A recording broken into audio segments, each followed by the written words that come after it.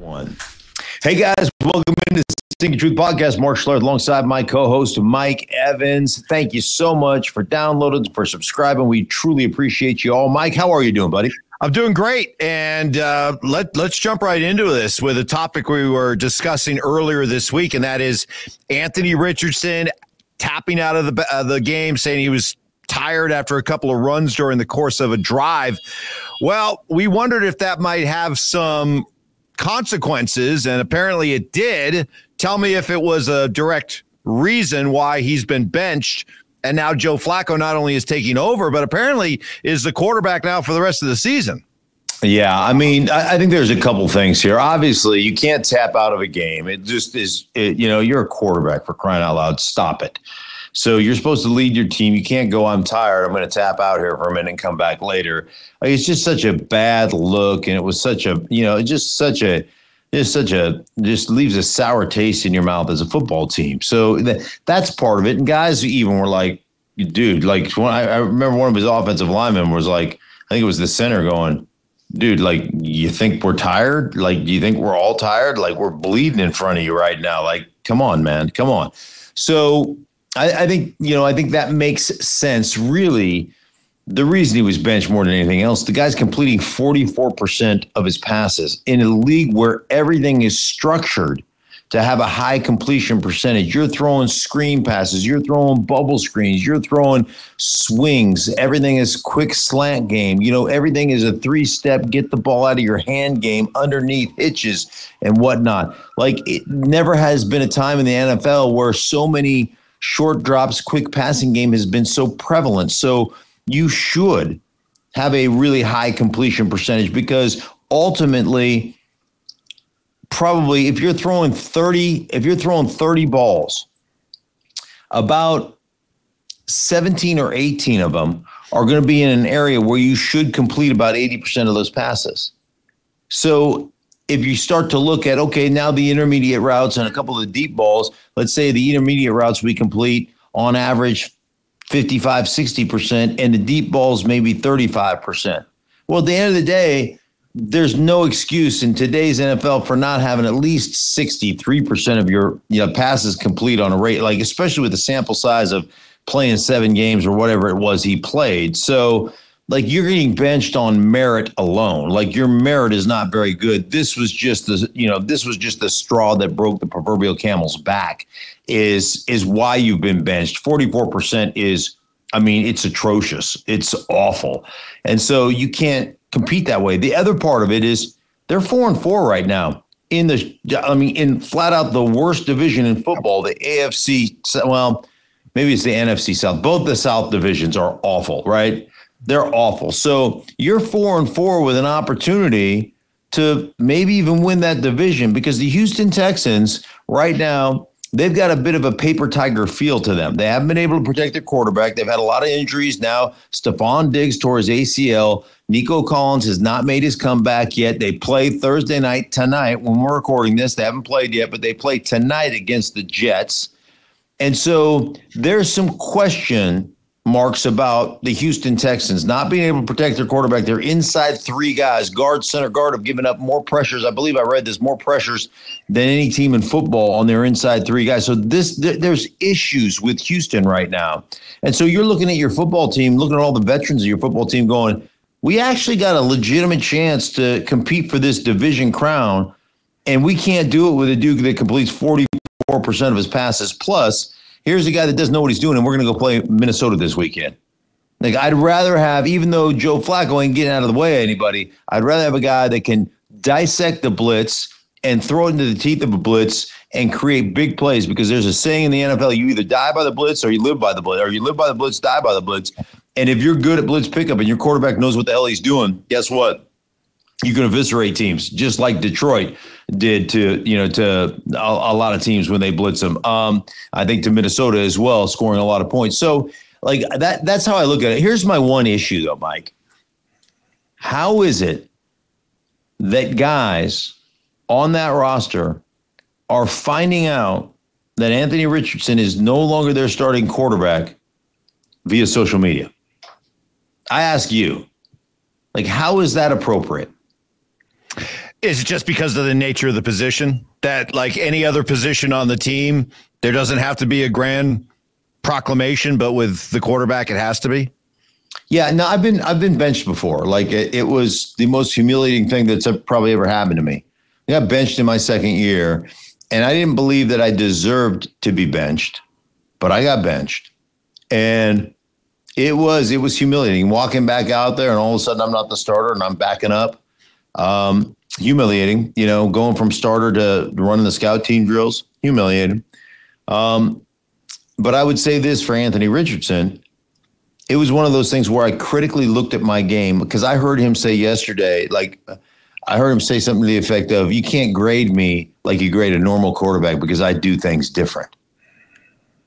Dude, like that alone in my book will get you benched. Tapping out, like tapping out and saying, and then standing in front of the media saying, "I was tired." You're too stupid to play quarterback for me. Like you just don't have enough self awareness to play quarterback for me. And then to say, hey, man, I don't play like anybody else. So my scale is different.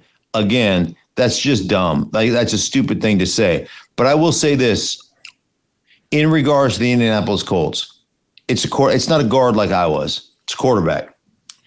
And what you need to do is Monday after your game, you need to rally the troops together. You need to have your meeting, your you, know your team meeting, and in that team meeting, you're saying, "Hey, man, we're sitting at four and four guys, um, and as a staff, we've just come to the realization that right now, Anthony's young, um, inexperienced. He only started 13 games in college. Um, he's only started 10 in the National Football League. He's very raw. He's exceptional as an athlete.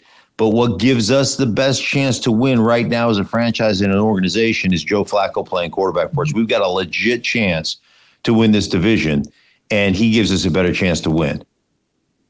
That, like, you know, I always talk about being a professional. And just because you play professional sport doesn't make you a professional. Well, just because you run an organization, a professional sports organization, doesn't make you a professional in the way you deal with things.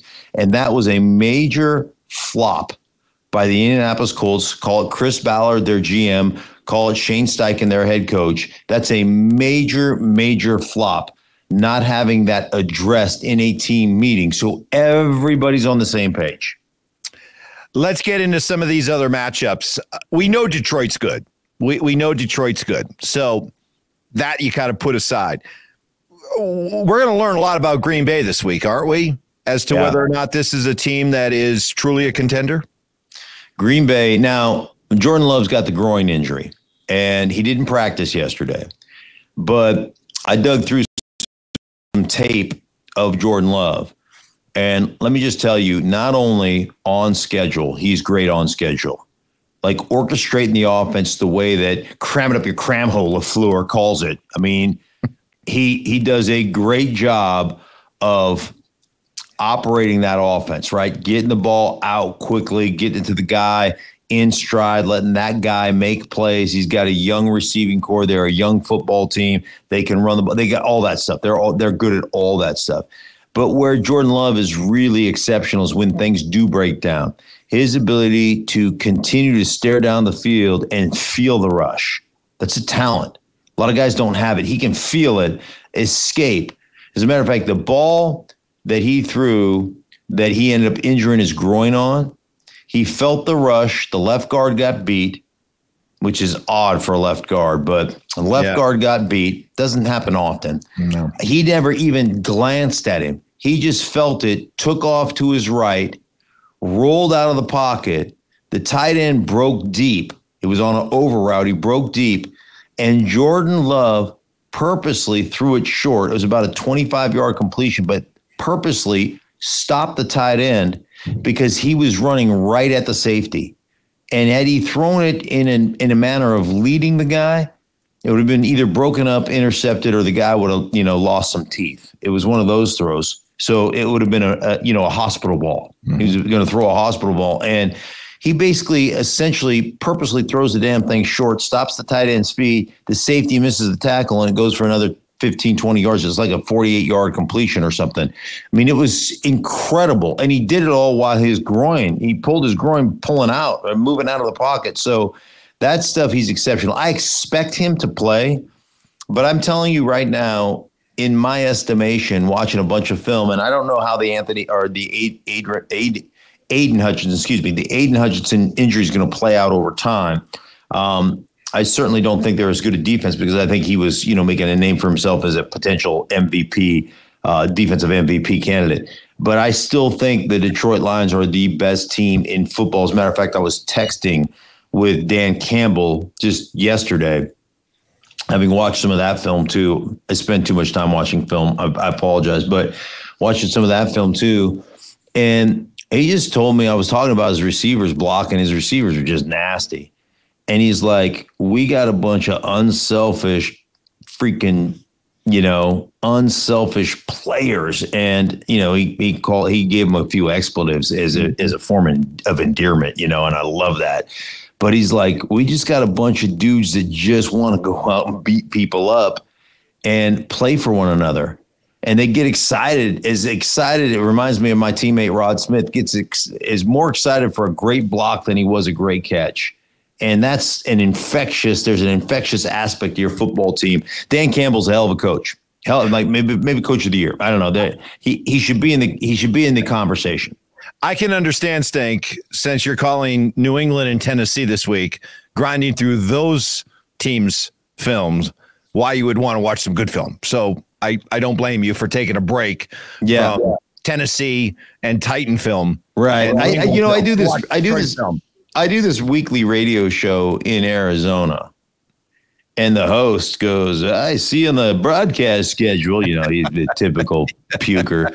I, I see on the broadcast schedule that you've got a real dog of a game. Uh, New England at Tennessee. and I said to him, I go, well, it's better than the game you're calling this weekend. That's right. Yeah. That's right. Better than the game you're calling this weekend. Hey, as much as I love to give you grief, and you know I do, you are one of a select few on this planet who are calling NFL games, my man. So uh, it doesn't matter.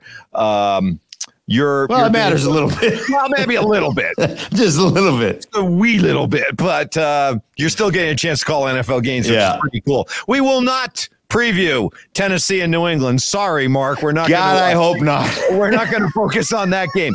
Um, if if I think if if you had told me that at this point of the season we'd be getting ready for a Rams Seattle game with the idea that maybe the Rams are the team to beat yeah. in the NFC West? Who could have imagined that?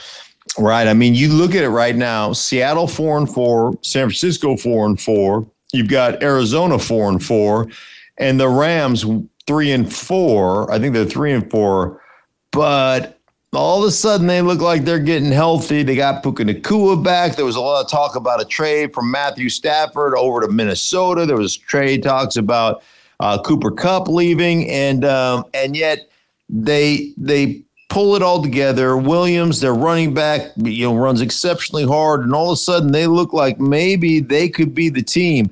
Like the Niners are getting Christian McCaffrey back, and he's going to make a huge difference with that football team. Um, and I would still probably pick San Francisco to win that division. But I will tell you, I called the Arizona Miami game last weekend. Arizona came back and won that game. And a couple of things happened in that game. One, Kyler Murray, who's really good when it comes to broken plays, that's where he does his most damage, or first read of your progression progression on the on the quick throws. But he is so athletically gifted, Mike. My theory is, and I talked to him about his sped up mechanics, and he said, Yeah, I got an issue with speeding up my mechanics. So the way an NFL, the way a passing game works, and our friend Joel Klatt always comes on our show and says, you know, the timing of the offense is kept in the quarterback's feet. I love that saying. I steal it, I use it. I yeah. usually credit Joel because he's not my intellectual property like you're my intellectual. Right. If you would have told me that, that would have been mine 100% because you're my intellectual property. You show it's far more respect to Klatt than you do me. But, way uh, more respect to Joel. I understand Klatt. But so he's his mechanics speed up, and I think it's a, a combination of of you know he's just such a dynamic little athlete. And so when you get your timing, let's say it's a three step drop or let's a five step drop and goes da, da, da, da, da, da, da, and you hit that fifth step and then the ball is out. Your first read, when you hit that first step or that fifth step in your progression, that first read is supposed to be open, right? So if it's not open, you da you hitch up, da and now you you're ready. That second reach should be open. So you know, it's always kind of I've always thought about this way. The way my feet sounded when I played so what should my feet like? It was an, almost an orchestra playing in my head. So if I'm coming off the ball and we're running 19 hand up, I want to hit my, my feet should sound like this. Right? And that second step, that that second step is where I should be making contact, striking on an upward, not outward, but upward trajectory, creating an upward um, a, an upward trajectory for the defensive player, taking him out of the top of the stadium where I'm going to create leverage, and then I'm going to be able to move him. And so I wanted to know exactly how my feet sound. So when your feet are in the pocket, you know, it's da da da da da da da, and then it's da da to the next hitch, da da, and his feet go dee because they're so quick, right? They're dee and so his feet sound wrong. They sound in my head, they sound wrong. I'll tell and you. So I saw him really slow down in the pocket. And his second and third reads, where I've watched him I airmail balls, dirt balls, throw balls wide. Yet last week he he he hit a couple of overs, low crosses, overs to Marvin Harrison that were money throws in the back of the end zone, money throws for a touchdown. And to me, it was because he slowed his feet down on those secondary reads. And it was like that was impressive for Kyler Murray. And and they found a rhythm between and a route between he and um, and Marvin Harrison Jr. that I thought really worked well. It was all a bunch of over routes, you know, and and things of that nature, going from one side of the formation to the other side and catching on the opposite side. They did a good job with that. So, if you still like San Francisco to win the West, what of the other three teams that we've been talking about here would you give the best chance to get in as a wild card? Seattle, Arizona, or the Rams? The Rams. Okay. I think the Rams are structured. They're going to run the ball. I think they're physical up front. Um, Matthew Stafford is Matthew freaking Stafford. And when they have Puka Nacua and Cooper Kupp, those two guys in the run game are exceptional. And I always talk about to you this 11 and a half personnel kind of concept where they run two tight end plays out of three wide receiver sets. So why does that matter, right? It's just a play. Who gives a crap? But when when you have the two tight end sets as a defensive coordinator, you're studying what do they run out of these two tight end sets. So you're practicing, you know, whatever they get in solo, a tight end on each side, or they get in west, two tight ends on one side, or they, you know, whatever whatever their formation is. Oh, they can run this wide stretch with two tight ends. They can run this, da da da da, right? And so those are the plays you run and you practice on two tight ends.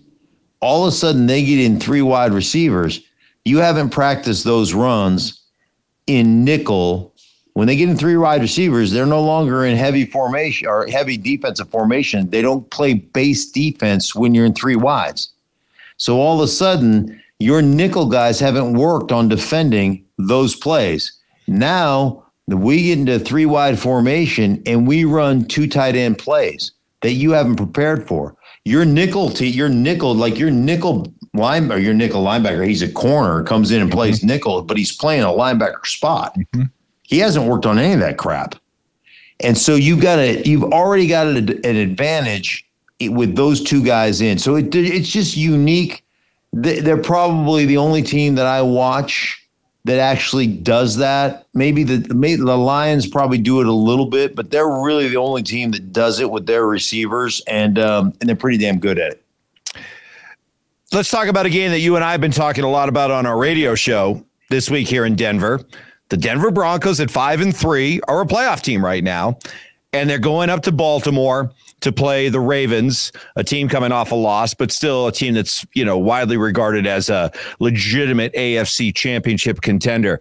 Is it mm-hmm. time for people around the NFL world to start paying attention to what Bo Nix is doing?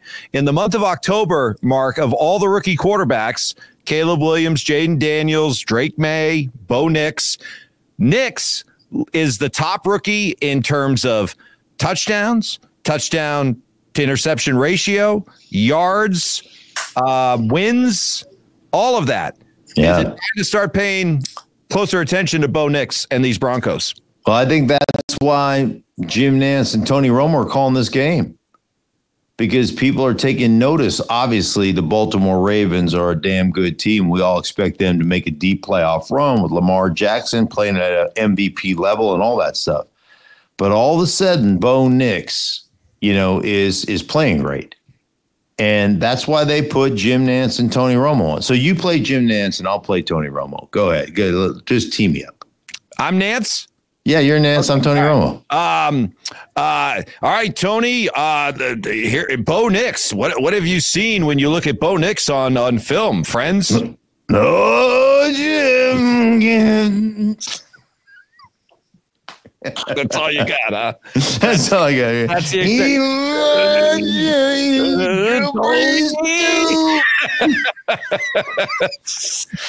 By the way, I love Tony Romo. I know. I know. I, love Tony. I love. That. You know where I listen to Tony Romo a lot. This is the sincerest form of flattery. There you go. You know where I listen to Tony Romo a lot. Serious as a broadcaster, end a half, end a game. Yeah. He's just because he's had to operate like yeah, end a half, end a game for me. I was just like, give me the play. I'm fat and I'm tired. it was the protection? Snap count. Okay, I'm good. You're right. Good. You're right. He had to orchestrate. You know, you're you're or you're calling plays on the fly. You're orchestrating the whole offense. You're thinking about you know all the stuff you got to think about. Me, not so much. Where am I getting dinner after the game? right. Are there orange slices available at halftime? Yeah. Um, I hope they have something to eat on the bus. Jeez. uh, the Broncos. uh, This is a team we we were well aware of this before the season began. I mean, this was a team. Their over under was five and a half wins. Uh, all kinds of offseason power rankings had them as the 30th team, the 29th best team in the NFL. There were not high expectations. Sean Payton, though, came out because he was asked early in the season about their over under being five and a half wins. And he said something to the effect like, um, the next time one of my teams uh, fails to win six games will be the first time that's ever Right. happened. And what do you know? Here they are, five and three.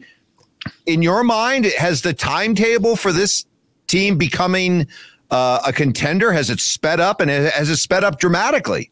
Yeah, I think no, definitely. But you know, I, I'm sitting there. Um, I say definitely, but I'm the guy who told you before the season started, pound the over on five and a half that Vegas was giving you. Pound it because they'll be better than that. And how much better? I thought they'd win seven, eight games now, but I'm looking at you know the potential of winning ten games and. This is going to be a big litmus test going out to Baltimore and playing this team. And you know, one thing that that has been really good is this defense has been really, really good over the course of this entirety of this season. They're like third in points allowed. They've only allowed 15 points per game. They're like you know, third overall in yards per game. They're I think second or third overall in in sacks and you know pass rush opportunity, all these things. But you got to also look at who they've played. Right now, they're winning the the the winning percentage of the teams they've played um, gives them the worst. Like I think it's the worst strength of schedule.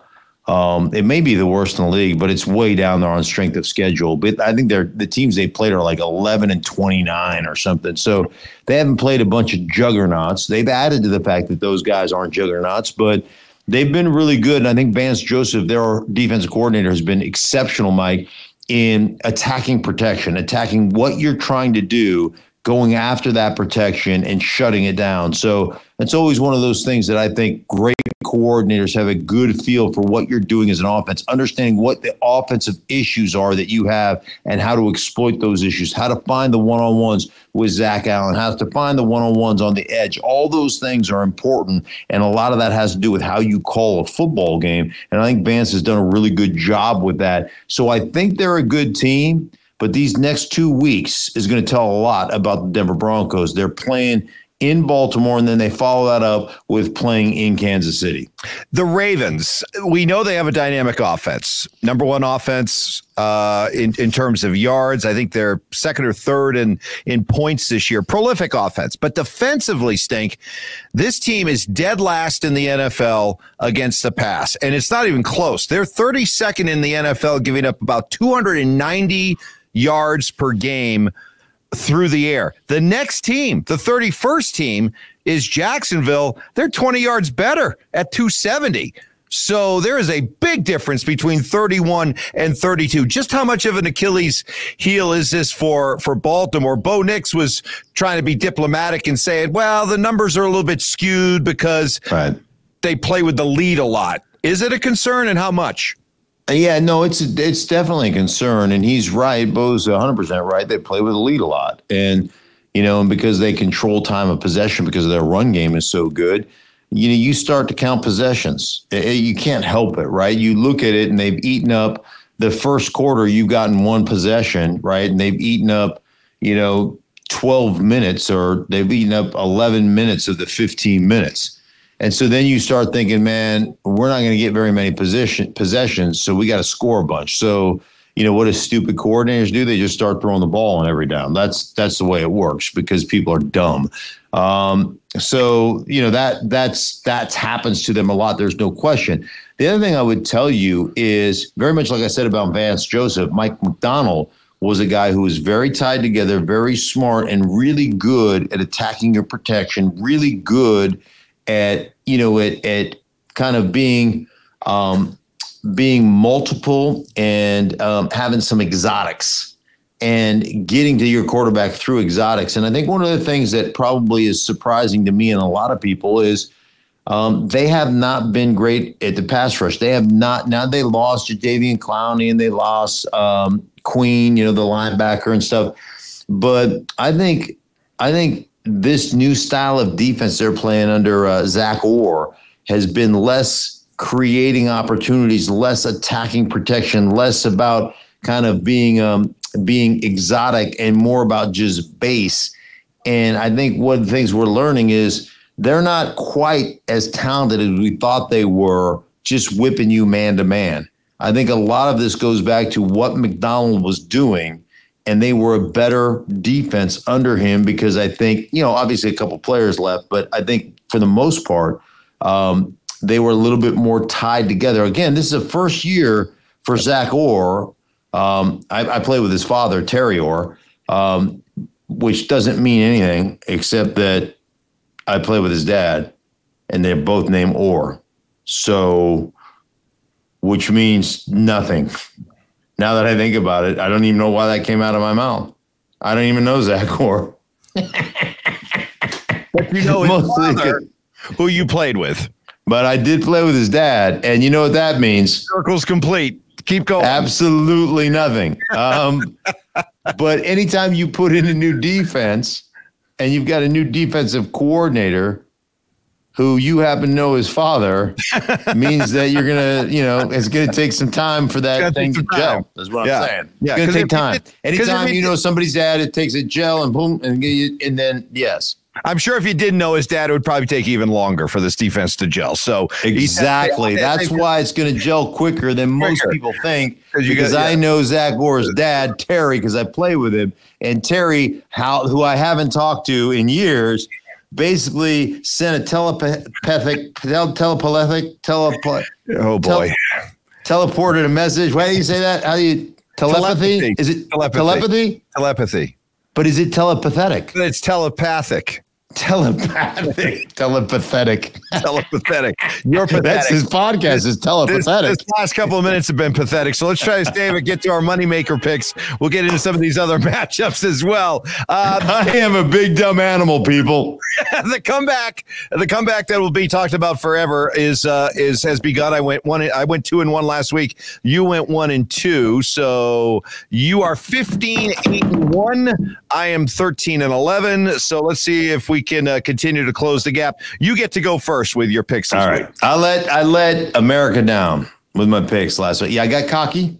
I got cocky. Mm-hmm. I was feeling my oats. Um, you know, I went with a theme like, oh, we're gonna go th- go big or go home. I remember saying it, you know, and I was going all, and then I just uh, basically took a dump in my hat. But that's okay. I'm back now. I'm back. I'm, I'm, I'm back. I'm, I'm seeing it clearly. I've got clarity right now. So here are my picks. Dallas Cowboys head to Atlanta. Dallas Cowboys, Jerry Jones just came out and said, uh, you know, he's looking for a storybook ending. Storybook ending. Jerry Jones is looking for a storybook ending. While other teams are, I don't know, addressing needs, you know, like going out and getting a receiver, going out and getting a left tackle, or going out and getting some player, he just thinks that magically, like a, a fairy's going to swing down and sprinkle pinkle, p- pixie dust, pinkle dust, pixie dust on the Dallas Cowboys. Like having a, like, you, having a hope without a plan, like you have no actionable plan. You're just like you're just hoping. Like you're it, it it's so Jerry Jones. It's ridiculous. So I've i hear he's got. I hear he's got the the concepts of a plan. He's got the concepts. Oh, does he have the concepts of a the plan? Concepts Good. of a plan. The concepts of a plan. I'm probably um, going to get heat for that. I'm just making a joke, people. Yeah. Okay. Yeah. You know what? He should put, be in charge put, of the border. Put the fangs back in. Okay. I'm just making a joke. Okay. Put him in charge of the border. Lighten He'll come up with a plan. Okay. There you go. All right. So I've got uh, the Atlanta Falcons minus two and a half beating the Cowboys. I've got my Lions. They're just uh, the best team in the league. Yep. Minus three and a half over uh, over the Green Bay Packers. And then I've got the Rams, the guys we think are sneaky, minus one and a half. I got the Rams. I'm actually going with a theme this week because your oh. theme worked so well last week. I thought I'd try my own theme. And I'm going with teams that have their quarterbacks now in place that give them the best chance to turn their seasons around. And I'm going to go with all three of them this week. I'm going to take Indiana, uh, Indianapolis with Joe Flacco plus the five on the road against the suddenly struggling Vikings. I'm going to take Cleveland now with Jameis Winston energizing the Browns against a Chargers team I'm still not sold on. I get the Browns at home plus a point and a half. I'll take Cleveland. And I'm going to take Miami. Tua's back, got another week under his belt. Buffalo's rolling right now. They got the they got a they got a hammer lock on this division. I think they might be ripe for a little bit of a letdown. Dolphins are desperate. I'll take Miami plus the six. I, I like that. Although Miami's one and seven lifetime against Buffalo when Tua plays. They're playing in early November. It's not December. The weather should be okay. Right. Different different circumstances. Okay, I'm just I was just letting you know they've been colossally bad against Buffalo. Well, but you're getting you are getting six points. So yeah, exactly. They don't have to win. No, they don't have to win. They just have yeah. to come close. Exactly. Basically, kiss your sister. Moral victory. All right, buddy. Hey, for everybody involved in the Stink Truth podcast. What are you again? Uh, You're a big dumb animal? Is that what you are? Yeah, I'm just a big dumb animal. Big dumb um, animal. anyhow, have a good one. We'll talk to you guys right. later on the week.